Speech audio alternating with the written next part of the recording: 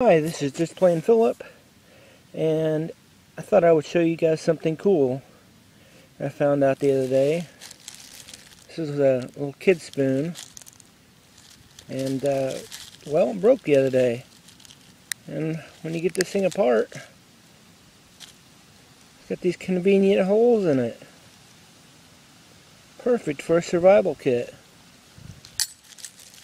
So I'm adding this to my survival in a bottle which uh, I may go through later this week, show you guys. But it's a perfect little addition. And if any of you guys got kids, or you find one at the Goodwill, you can usually find them for 10 cents, or a quarter, or 50 cents. And just break it apart.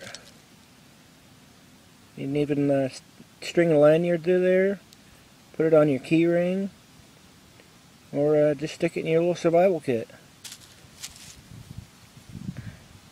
So, there's an idea for you.